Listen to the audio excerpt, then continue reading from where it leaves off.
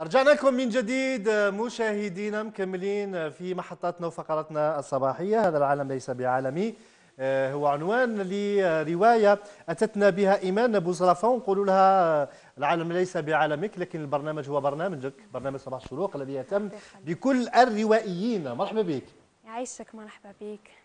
إذا هذا العام ليس بعالمي هو آخر عمل لك وثاني في رصيدك الأدبي. آه، نهنئوك نقول لك آه، مبروك شكرا. هذا الرواية. شكرا. في مقدمة هذه الرواية كنت وجهت إجابة للعديد من الألسنة التي ربما شككت في آه، في قدراتك في الكتابة.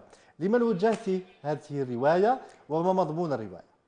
لا هي مقدمة للجميع. لمن لم يستطع تأليف كتاب يمكن يكون خاف أو عنده شوي خوف.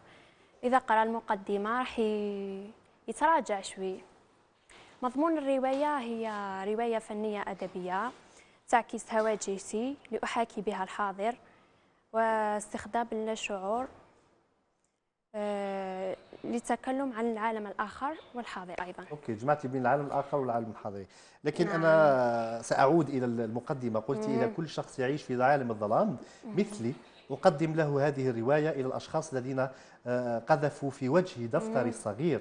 وقالوا لن تستطيعي كتابة جملة مفيدة. أقدم لهم هذا الكتاب.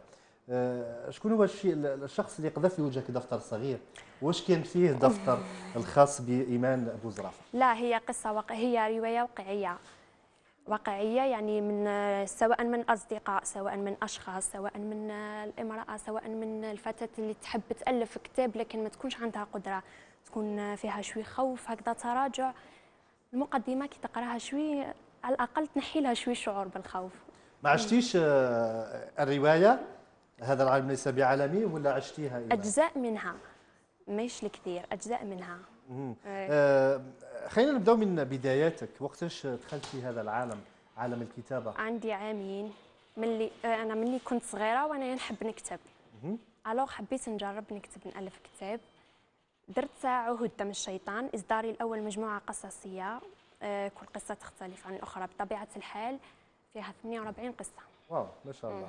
48 قصة كنت جمعتيهم فيما قبل في ولا؟ مجموعة قصصية. آه وشحال استغرق معك وقت أنك مدة سنة. تكتبي كل هذه القصص؟ سنة. سنة.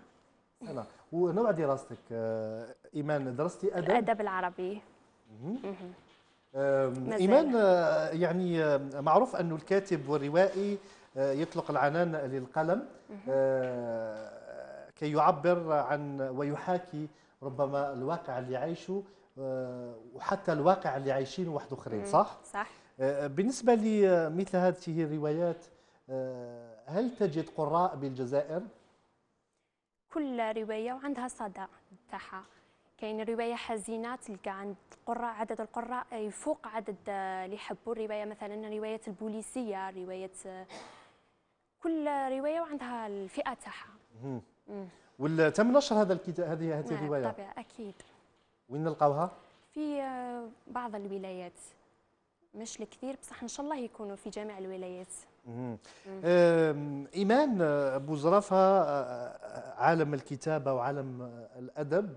يعني قليل من الأشخاص ربما اللي ينعم عليهم مولى عز وجل يختار اللي عندهم موهبة وهواية صح؟ صح. ربي يمد الموهبة لأشخاص آه، معينين. وليس لكل الأشخاص. آه، لكن يجب أن يحسن الاستثمار واستغلال آه، كل شخص منحه الله تلك الموهبة وتلك الهواية. آه، حابة حابة الكتابة والقلم نتاعك وحابة الموهبة اللي أكيد. اللي أعطاها لك المولى عز وجل. أكيد. نعمة نعمة نتشرف بها. وتشوفي أنك تختلفي على أشخاص الآخرين. حسب تعاملهم. أنا نتعامل معهم حسب العقل تاعهم. يعني عقل غبي نتعامل معه غبان عقل مثقف نتعامل معه بعقل مثقف. كل واحد وعقليته أما بالنسبة للكتابة يعني آه، هي نفسي. نحب بزاف شغفي وميولي الكتابة. هذا ما جعلني أؤلف الكتابين.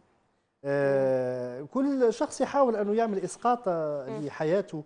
من خلال الكتابة نتاعو والأدب آه، ولا الظروف اللي يكون عايش فيها. بالنسبة ليك اختيارك للمواضيع كيفاش يجي؟ وهل آه، بالضرورة يكون فيه إسقاط لشخص إيمان بوزرافة من خلال الأعمال والرواية؟ لا مش بالضرورة يكون إسقاط ومش بالضرورة إنها تكون آه، خيالية. يمكن تلقاها تلقى رواية تاع صديقك مثلا بإمكانها أن تكون رواية يعني تجيب لك صدى كبير. للقراء وتقدر تستنتجها من الطبيعة من أي مكان إيه.